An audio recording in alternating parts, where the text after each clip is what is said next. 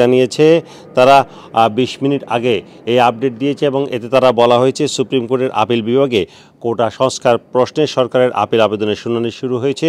গত কয়েকদিনের ভয়ানক সহিংসতার পর অনেকের চোখ আজ আদালতের দিকে। সরকারের পক্ষ থেকে বলা হচ্ছে, আপিল বিভাগে তারা শিক্ষার্থীদের দাবি অনুযায়ী কোটা সংস্কারের পক্ষে বক্তব্য তুলে ধরবে।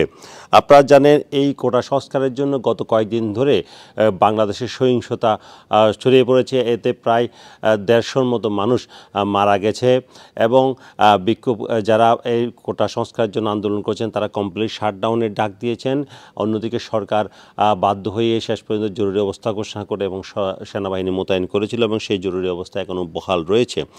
সরকারি চাকরিতে কোটা পদ্ধতির এই বাতিলের পরিপত্র অবৈধ ঘোষণা করে হাইকোর্টের দেওয়া রায়ের বিরুদ্ধে লিপ্ত আবেদনের শুনানির জন্য একুশে জুলাই অর্থাৎ আজকে চেম্বার আদালত এটি ধার্য করেছিল এবং সুপ্রিম কোর্টের পূর্ণাঙ্গ বেঞ্চে ওই রায়ের আপেল শুনানি সকাল দশটায় শুরু হওয়ার কথা থাকলেও একটু দেরিতে শুরু হয়েছে।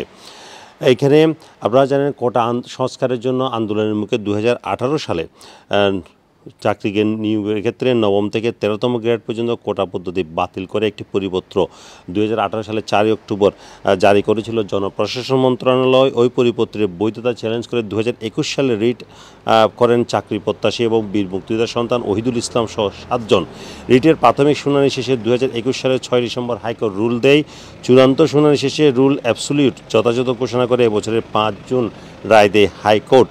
হাইকোর্টের রায় স্থগিত চেয়ে রাষ্ট্রপক্ষের করা আবেদন চেম্বার আদালত হয়ে চার জুলাই আপিল বিভাগের পূর্ণাঙ্গ বেঞ্চে শুনানির জন্য আসে।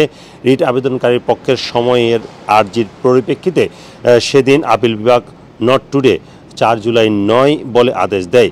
পাশাপাশি রাষ্ট্রপক্ষকে নিয়মিত লিভ টু আপিল, আপিলের অনুমতি চেয়ে যে আবেদন করতে বলা হয়।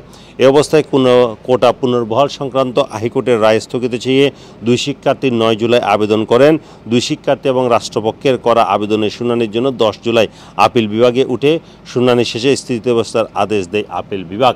এই সময় থেকেই আসলে আন্দোলন করে আসছে শিক্ষার্থীরা। তারা বলছেন কোটা পদ্ধতির সংস্কার করার প্রয়োজন এবং এই লক্ষ্যে প্রথম দিকে এটি শান্তিপূর্ণ সমাবেশ হলেও পরবর্তীতে গত বৃহস্পতিবার থেকে এটি আসলে সহিংসতায় রূপ নেয় এবং আন্দোলনকারীরা সারা দেশে কমপ্লিট শাটডাউনের ঘোষণা দেয়।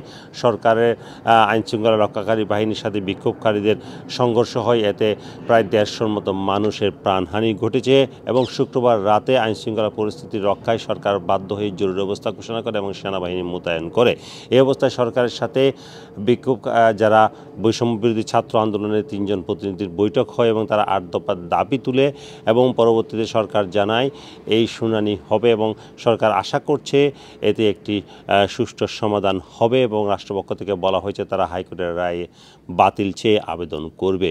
শুনানি এখন শুরু হয়েছে, সারা জাতি তাকিয়ে আছে সুপ্রিম কোর্টের রায়ের দিকে তারা আশা করছে, সরকারও আশা করছে এবং যারা কোটা সংস্কার আন্দোলন চালিয়ে যাচ্ছে তারাও আশা করছে সুপ্রিম কোর্ট এই কোটা বাতিলের জন্যই রায় দেবে।